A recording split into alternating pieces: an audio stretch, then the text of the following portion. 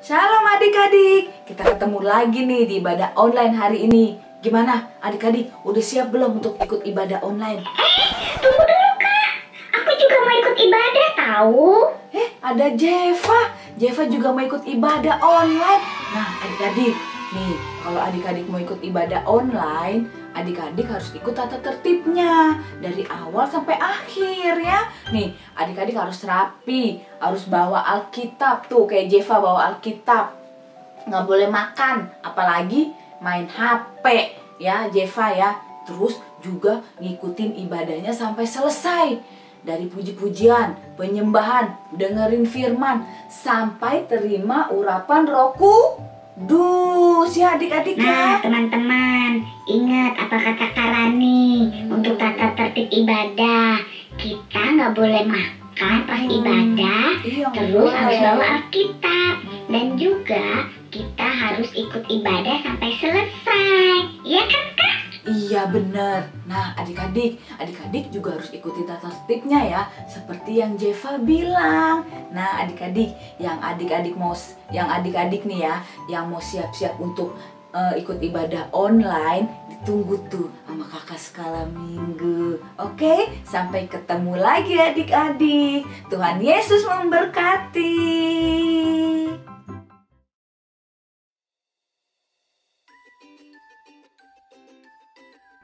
Shalom adik-adik yang manis.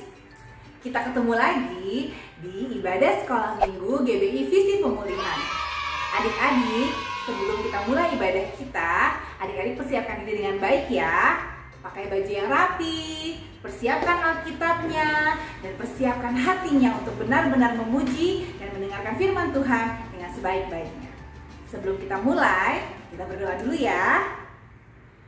Terima kasih Tuhan Yesus, karena Tuhan Yesus menjaga memelihara kami sepanjang minggu ini. Tuhan Yesus, kami mengucap syukur untuk penyertaan Tuhan atas kami dan keluarga kami.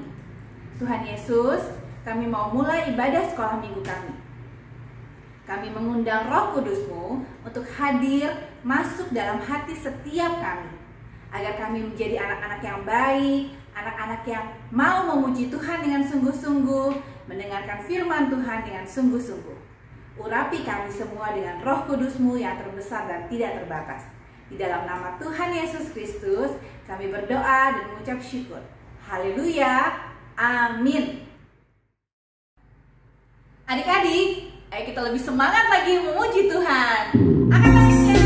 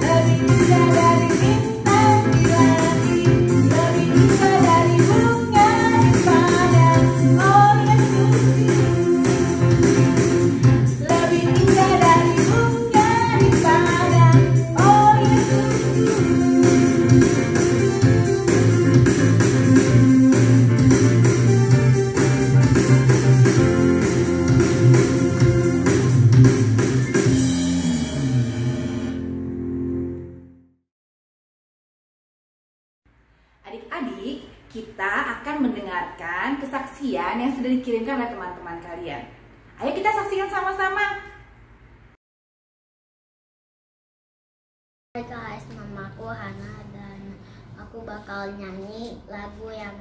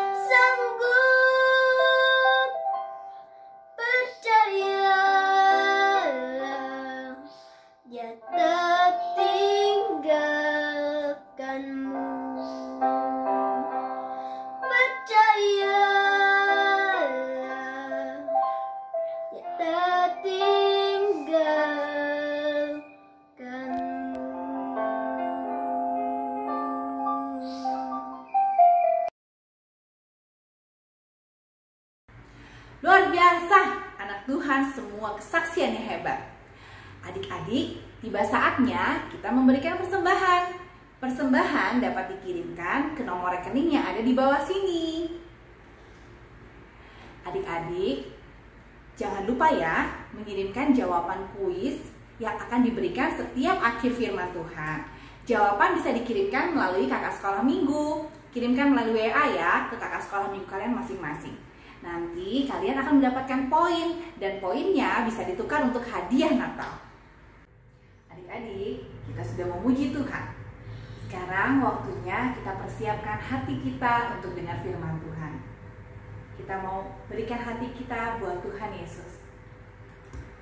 Ayo sama-sama kita lipat tangan kita, tutup matanya.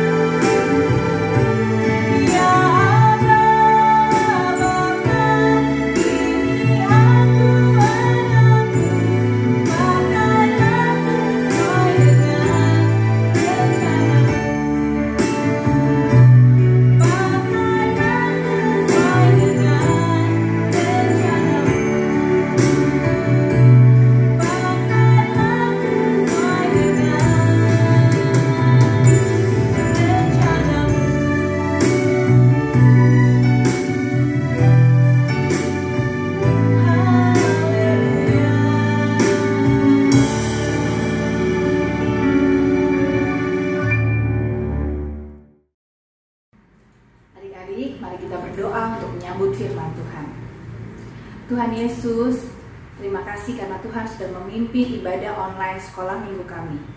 Tuhan, kami mengucap syukur untuk sukacita yang Tuhan berikan dalam setiap setiap pujian yang boleh kami nyanyikan panjang pagi ini. Tuhan, kami mau mempersiapkan hati kami untuk mendengarkan firman-Mu. Tuhan Yesus, Engkau urapi setiap anak-anak yang mendengarkan firman, agar mereka bisa mendengarkan firman dengan sungguh-sungguh, membuka hatinya sungguh-sungguh untuk menerima kebenaran firman Tuhan. Tuhan Yesus urapi juga kakak Rudi yang akan membawakan firman Tuhan. Kau pakai dia dengan luar biasa. Terima kasih Tuhan Yesus. Urapi kami dengan roh kudusmu. Di dalam nama Tuhan Yesus Kristus. Haleluya. Amin.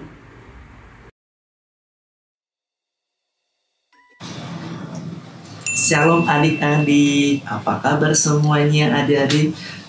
Puji Tuhan, kakak berharap adik-adik dalam keadaan sehat semua. Kita tetap sukacita adik-adik.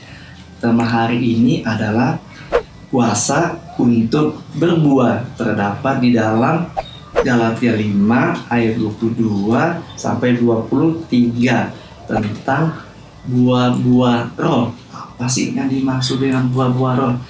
Buah-buah roh ialah sifat, sikap, dan karakter bagi anak-anak Tuhan yang harus dimiliki dan yang percaya kepada Tuhan Yesus Kristus. Sekarang kakak mau sampaikan ada sembilan buah-buah roh. Yang pertama, adik-adik siapa yang tahu buah yang pertama? Ya, kasih.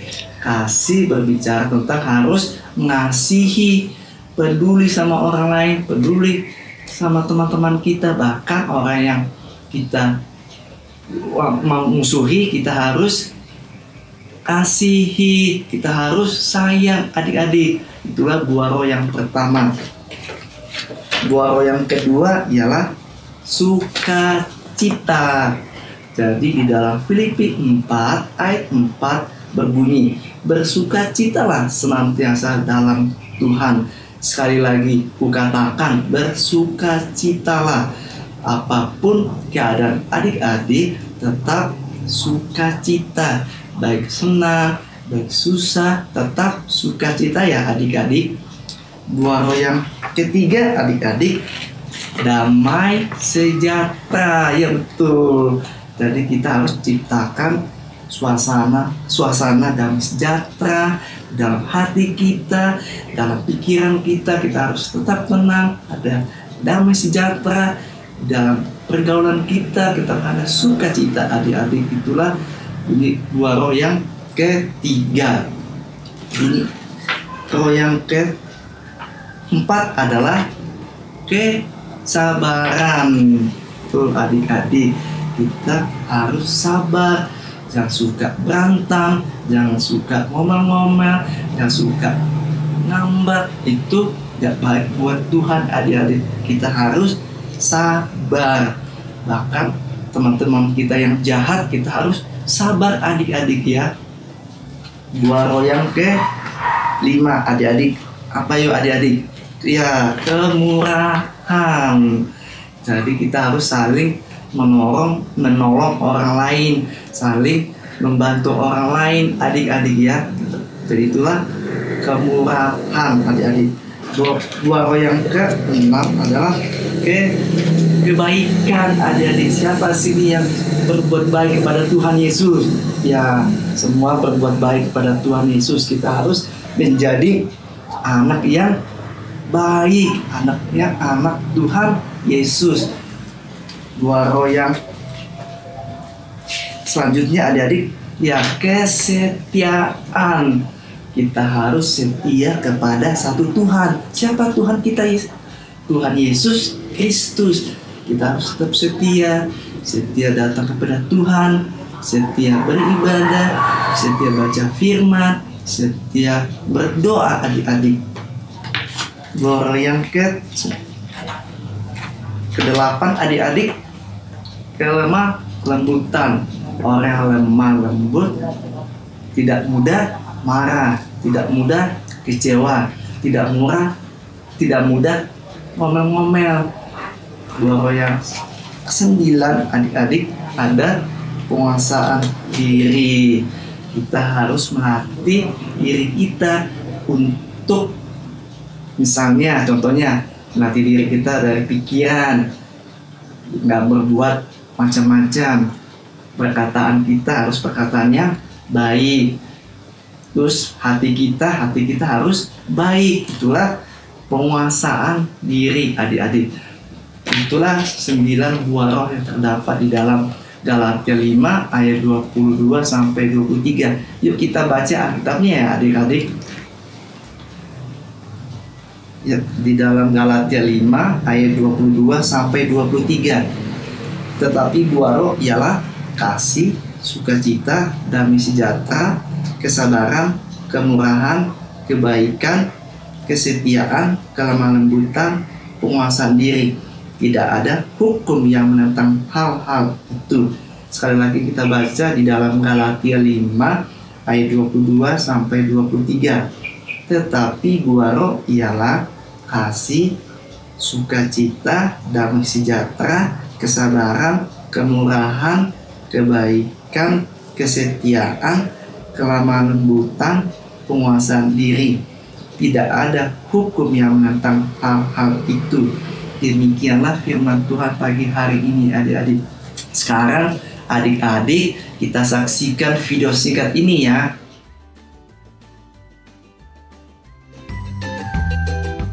Hai, nama saya Nina. Hari ini Nina mau mengajak teman-teman belajar apa itu buah roh. Buah roh yang pertama adalah kasih. Kita harus mengasihi Tuhan dan sesama kita, terlebih lagi musuh kita. Buah roh yang kedua adalah sukacita. Sukacita itu ketika kita tetap tersenyum bahagia dalam segala hal. Buah roh yang ketiga adalah damai sejahtera. Damai sejahtera itu ketika kita berdamai dengan teman saat bertengkar. Buah roh yang keempat adalah kesabaran. Kesabaran itu ketika kita diajak teman, kita tidak membalas atau sakit hati. Buah roh yang kelima adalah kemurahan. Kemurahan itu seperti kita senang memberi kepada teman yang membutuhkan.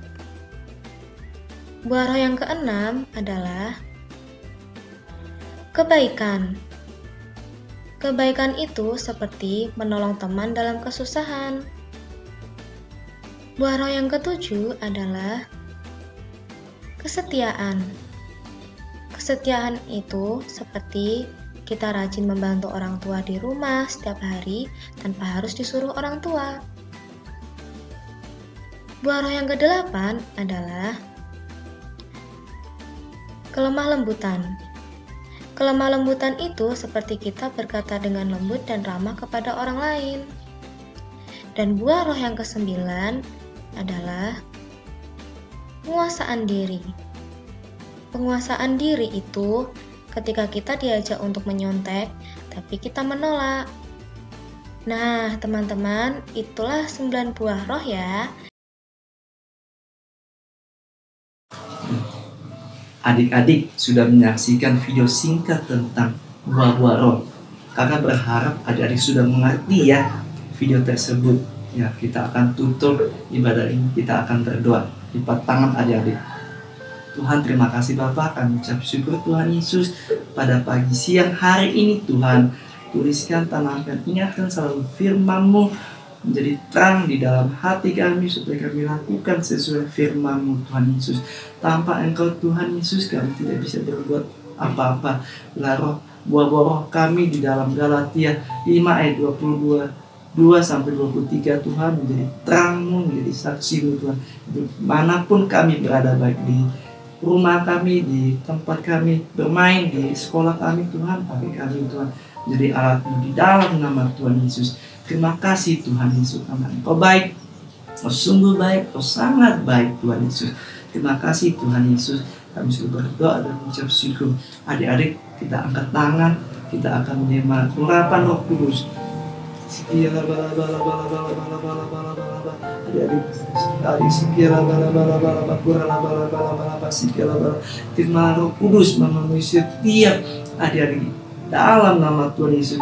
Terima Roh Kudus, terima Roh Kudus mengalir mengalir setiap kami pribadi pers pribadi di dalam nama Tuhan Yesus. Urapamu yang dahsyat, urapamu yang luar biasa mengurapi setiap hati dan pikirkan di dalam nama Tuhan Yesus kami sudah berdoa dan mengucap syukur kepadamu. Haleluya, haleluya, amin. Sekarang adik-adik ayat hafalan kita sekarang terdapat di dalam Galatia 5 ayat 22. Kakak ulangi ayat hafalan kita Galatia 5 ayat 22. Tetapi buah roh ialah kasih, sukacita, damai sejahtera, kesabaran, kemurahan, kebaikan, kesetiaan. Sekali lagi ayat hafalan kita Galatia 5 ayat 22. Tetapi buah roh ialah kasih, sukacita, damai sejahtera, kesabaran, kemurahan, kebaikan, dan kesetiaan. Itulah ayat hafalan kita pagi siang hari ini. Hai adik-adik, ketemu lagi ya dengan Kak Nina minggu ini. Adik-adik, tadi pasti nyimak ya firman Tuhan yang disampaikan oleh Kak Rudi. Adik-adik, penasaran gak pertanyaan kuis minggu ini? Oke, sekarang kakak kasih tahu ya. Pertanyaan kuis minggu ini, berapakah jumlah buah-buah roh dan sebutkan. Oke adik-adik, kakak tunggu ya jawabannya lewat WA ke kakak guru sekolah minggu cabang masing-masing. Oke? Adik-adik, siapkan kita akan tutup dalam doa untuk doa berkat. Angkat tangannya adik-adik. Terimalah damai sejahtera sukacita daripada roh kudus memenuhi setiap kami di dalam nama Tuhan Yesus. Kami sudah berdoa dan mengucap syukur kepadamu. Haleluya, haleluya, amin. Adik-adik, ibadah kita selesai pagi hari ini. Tuhan Yesus memberkati. Shalom.